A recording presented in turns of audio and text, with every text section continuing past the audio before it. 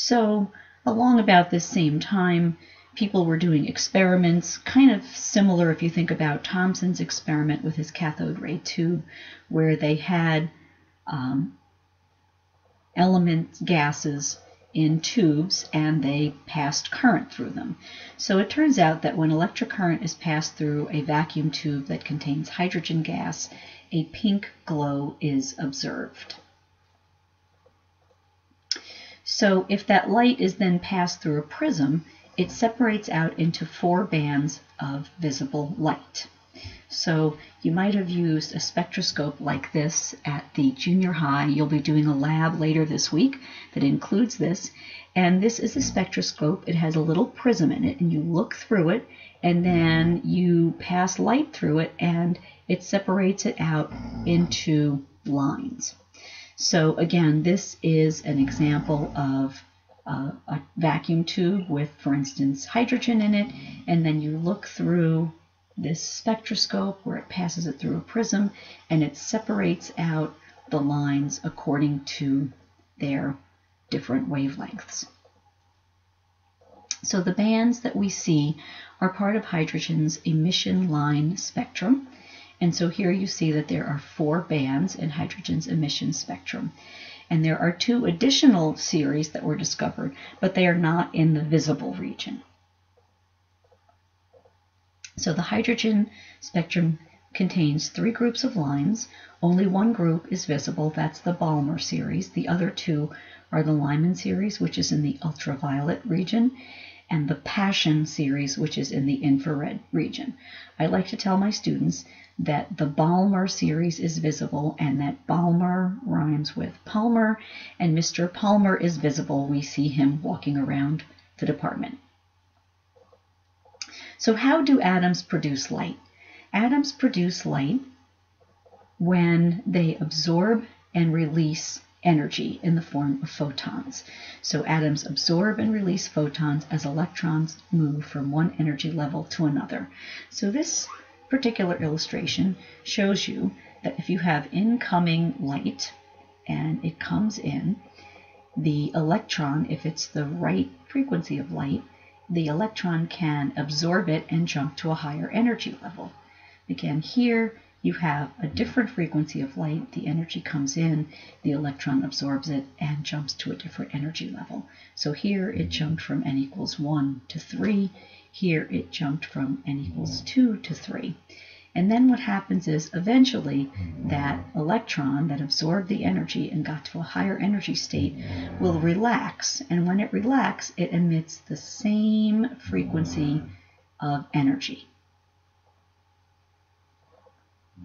So hydrogen only has one electron in its lowest energy level, and that is said to be in its ground state. So when an electron is in its lowest possible energy level, it is said to be in the ground state, and that's n equals 1 for hydrogen.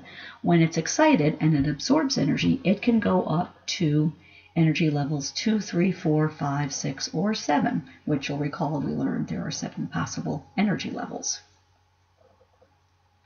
So the emission spectrum is showing the excited state. So the lowest energy state of an atom is its ground state, and when it absorbs energy, it achieves a higher energy state, which we refer to as its excited state. And in terms of understanding it, you can think of me, Ms. Agostine, when I've had too much coffee. So normally I'm pretty chill, and then if I drink too much coffee, I get very excited, and then eventually I relax back down to my normal state when the caffeine wears off, and I'm back in my ground state again. So when we're talking about light and atomic spectra, the atomic emission spectra are not continuous like sunlight. Each line in the atomic emission spectrum represents a distinct frequency and wavelength that's associated with how much energy was absorbed by an electron when it jumped up to a different energy level and released. And again, every element has a unique emission spectrum. So classical atomic theories predicted that hydrogen would emit a continuous range of frequencies and have a continuous spectrum, and attempts to explain it led to this new theory called the quantum theory.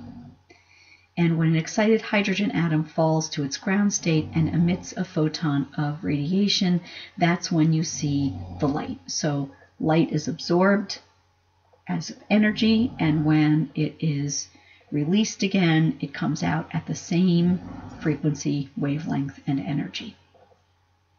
So you'll recall that we had talked about the Bohr model where Bohr proposed that electrons have fixed energy and move in energy levels around the nucleus, which was why they don't fall into the nucleus. And it turned out that Bohr's model of the hydrogen atom explained the observed lines in hydrogen spectrum. Unfortunately, his model did not explain the spectrum of atoms that had more than one electron because it gets obviously way more complicated the more electrons there are. So for that, someone named de Broglie, Louis de Broglie, uh, explained that electrons can be thought of as waves, and he suggested that they can be considered as waves confined around an atomic nucleus. So the electron waves can only exist at specific frequencies that correspond to specific energies, the quantized energies that Bohr spoke about in his orbits and his hypothesis was confirmed by experiments.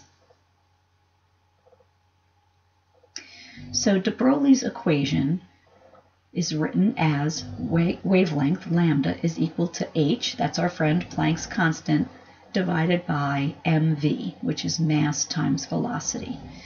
So again, the de Broglie equation, which you will not be responsible for calculating, but I just show it to you because it's in your chapter. De Broglie's equation states that wavelength lambda is equal to h, Planck's constant, divided by m, mass of the particle, and v, the velocity of a particle.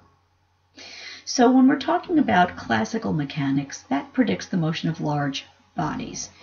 And when we're talking about classical mechanics, which you'll learn much more about next year in physics, we're talking about things like footballs and cars and things. But in the quantum world, quantum mechanics describes the motion of subatomic particles, which are obviously very, very tiny. And again, the energy is described as specific quanta or quantums or amounts of energy. So the last thing we talk about is something called Heisenberg's uncertainty principle. And Werner Heisenberg in 1927 proposed his principle. And what his principle says is that it is impossible to know simultaneously both the position and the velocity of an electron or any other subatomic particle. So simply stated, you can't tell where an electron is, its position, and how fast it's going, the velocity, at the same time. Now, when we're doing this, you have to understand that we're talking about subatomic particles.